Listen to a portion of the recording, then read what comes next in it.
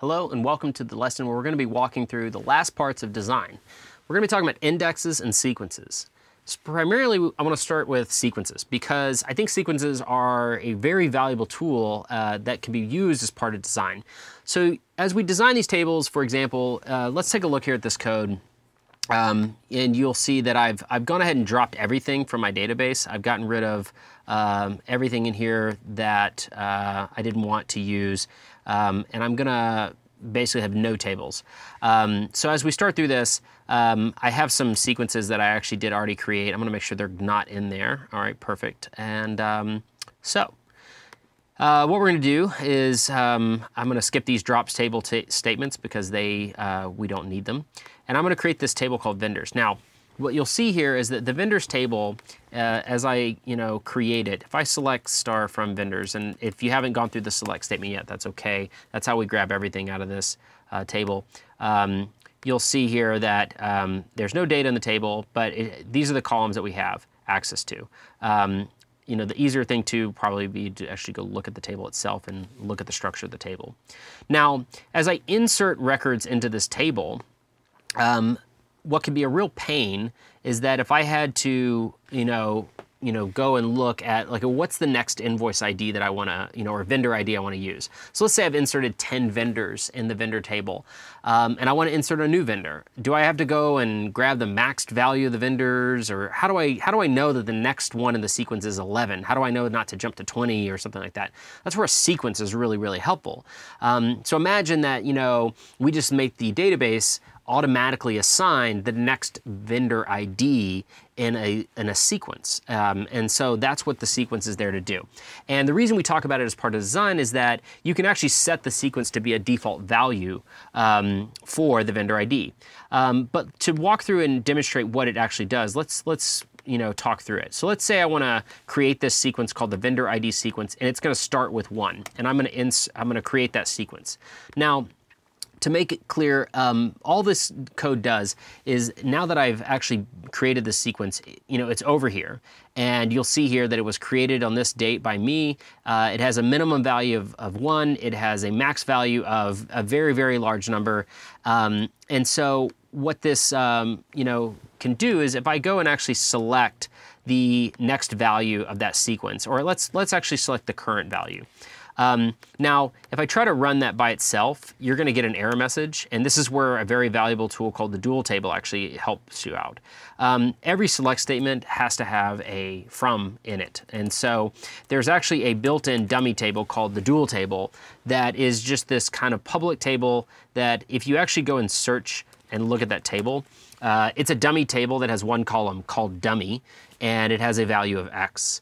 Um, and when I want to, let's say I want to select the next value uh, in this sequence, um, just to allow it to syntactically work, we're allowed to uh, say, I want to go select the next value from the dual table. If that doesn't make any sense, don't worry about it. We'll get further along into the select statement. But basically, this is a way for me to go and look at what's the current value of that sequence. So let's go run this statement here. I'm going to say select the vendor ID sequence current value from dual. If I run it, let's see here. We haven't defined this session yet. Ah, it's, oddly enough, this is a great this is a great example. Um, one to show you that sometimes you have to like make sure you read your error messages, and two to also know that you know um, even teachers are capable of mistakes. Uh, the mistake that I made here is, is a simple one. Um, the vendor ID sequence currently has no current value because it just got created. But if I go in and say, give me the next value, what it will do is it goes, hey, I have no value. What is the next value? And it's actually going to go and it's going to look up that value. And it's going to say the next value is 1. Uh, so I ran this statement here that says, you know, next val. So now I'm actually going to go change it to currval. And if I run it now, it actually is going to say, oh, the current value is 1. So if I say, okay, well, give me the next value. What's the next val? Uh, it'll so what's do what it's doing here is it's not guessing what the next value is. It's actually going and calculating it and saying, all right, um, this is a sequence. It starts at one. Uh, the current value is one. Uh, it increments by one, so it's going to go out and say, okay, well, uh, my current value is one. It increments by one, so the next value is two, and then it's going to replace the current value with two. So now if I go and select the current value of the sequence, it is two. All right, what does all that mean? So it simply means that, okay, if I want to go run an insert, let's say I want to create this new vendor and call it Acme Company or whatever, um, and I want to insert it. Now, I could go and have to look up, okay, what's the current value? Um, and then I could, you know, go add one to that. Um, I could also just go in and insert three. Um, but what's easier to do is just say, hey, I want to insert for the value of vendor ID. I just want to go insert the next value in the sequence. And so if I run this, it'll run just fine. Um, and it looks like vendor name has to be unique. Uh, so let's go this. Let's try. Let's let's go try to enter another one. Let's go. I'm going to leave all the information about this vendor the same, but I'm just going to call this um, uh, Teratoys. This is another favorite company of mine, and I'm going to run that. And sure enough, it inserts just fine. Well, let's go quickly look at the data in the table. Um, so I could click on table over here and look at it, but an easier thing to do would just be go to select star from vendors. Let's go run it. And sure enough, you'll see that territories got inserted and it basically put the next value in there uh, using the sequence. And this is really, really helpful because now we don't have to know the specific value of the ID to put in. We'll just let the computer figure it out. Um, so if I do the same thing with invoices and I go create this invoice table here, so I ran and created this statement here, I'm going to create a sequence called invoice ID sequence. It starts with 115.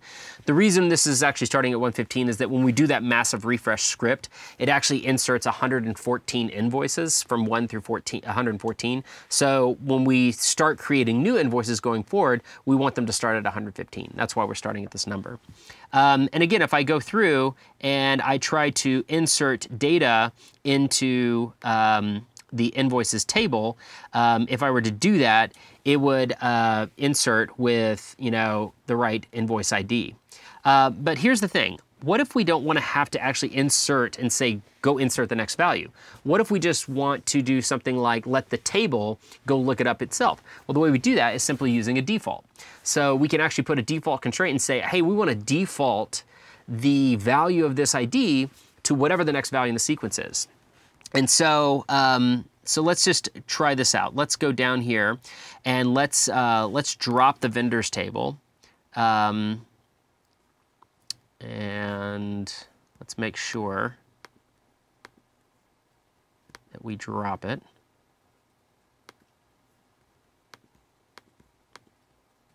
All right, it's dropped, meaning it's gone. All right. Oh, I think it's because, yeah, there was an invoice table there. All right, so so let's try this. Let's actually create the vendors table, but instead of leaving it like this, we're actually gonna set the default value to be the vendor, uh, vendor ID sequence. So let's go and create the table. It created just fine. So now I'm gonna go insert uh, vendor, uh, uh so insert into vendors, we're gonna set the values. So I'm gonna just set uh, instead of specifying the actual value here, um, I'm not even going to say vendor, you know, next value. We're just going to say, hey, go set it to whatever the default is. Um, so we're just going to run this insert statement. And let's go select from vendors. And sure enough, there it is. Now you'll notice it's five, and that's because we didn't drop the sequence and recreate it. We actually, it's still storing four as the current value, and now it's storing five as the current value. Um, the other thing we could do too is that we could actually not even specify, you know, entering a vendor ID. I could just say, hey, I want this new vendor name. I want to go enter a, a, new vendor. And I'm going to set the vendor to, uh, again, Teratoys. I'm going to go uh, insert that vendor. And sure enough, there it goes. It actually went and inserted. So what it, again, what it's doing is it's inserting this value, but the table requires a primary key. But the table also is designed to say, hey, if we, yeah, we have to have a primary key, it can't be null, but the default value, if nobody specifies that, it's gonna default it to the next value in the sequence. So let's just try a couple more here. Let's go and insert, um, let's just do this. Let's go vendor A, and let's just write a few vendor A, vendor B, vendor C, and let's just go run all these as a script. It's gonna insert them. Let's go select from vendors. Sure enough, there they are. And they all have been automatically assigned a vendor ID based on the sequence. So sequences, super awesome when you use them as default values within your tables. Um, and it saves you the trouble of having to know what the ID uh, for that table is. Uh, quickly, what I want to jump to is this idea of the sequences, uh, I'm sorry, indexes.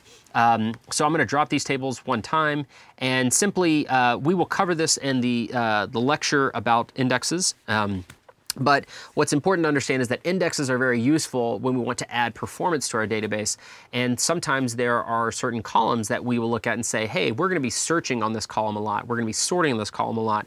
Or maybe this is a foreign key and we're going to be joining this table to other tables. And so in that case, we would want to potentially put an index on that uh, column. Um, and so here's the thing about the syntax of indexes is that if you are putting an index on a table and out in the real world, like at a company and you're working at an IT workforce and, and you need to put an index on a table, this is actually where I would say doing and practicing the syntax of indexes is probably not as critical because it's probably not going to be done by you. It's probably going to be done by a, a, DBA who's had 20, 30 years experience, and it's going to be a very big decision about whether or not you put an index on a table. So practicing the index is not as important for me. It's more important that you understand the concept of what an index is, and that's covered in the lecture prior to this. But um, just to walk through the syntax of putting an index on a table, once we create a table, simply to do uh, put an index on a table, you follow a very simple structure. We follow that same DDL that we're used to, so we use the create, the name of the thing we're creating, so instead of create table or create user, we're creating an index, and the name of that thing we're creating.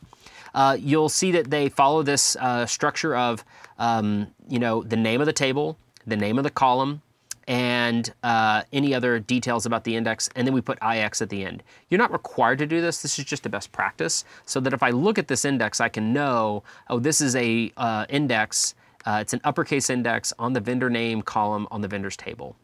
So if I run this, it creates the index just fine. Uh, same thing here, if I go and create, I can create a unique index on the vendor phone. Let's say we're searching on phone number a lot and we want to have the index, uh, you know, speed up performance so when we're searching by phone number that we can find the phone numbers quicker. Again, this is what you would do here. You can actually put that index on here and so you just run that command. Um, and so even me running through these, probably not as necessary uh, because you can just practice them on your own. But uh, if I wanted to drop an index, it's just like dropping a table or anything else. You just say drop the index and the name of the index you want to drop, and it would drop. So I have to create this index and then it drops it. So the syntax is probably not as important for indexes. Uh, I think more the concept is going to be more important for you to understand. But I just wanted to show you briefly how you can go and create indexes using the syntax. So hopefully that was helpful. That kind of wraps up our design uh, practice and kind of uh, indexes and sequence would be the kind of the last final step in your design of your database. So if you have questions, let us know. Hope that was helpful and we'll see you in the next lesson.